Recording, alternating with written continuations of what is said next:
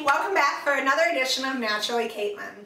So I'm going to give you a real quick um, recipe for bread in a bag. The kids are going to have a, a, lot of fun with this one. They're going to be able to dump the ingredients right in the bag, uh, squish it up, pop it in the oven, and you'll have hot, steamy bread to serve alongside your delicious soup. Alright, let's get started.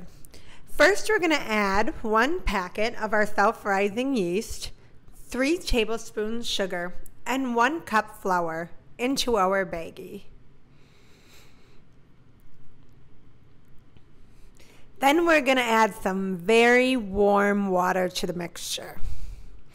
We're going to seal the bag and squeeze the mixture with our hands until well mixed.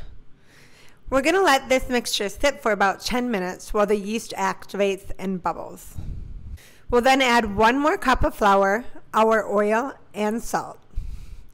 Seal the bag again and squish until well blended. We'll then add our last cup of flour and mix. Remove the dough from the bag and put on a lightly floured surface and knead for about 10 minutes till the bread is smooth.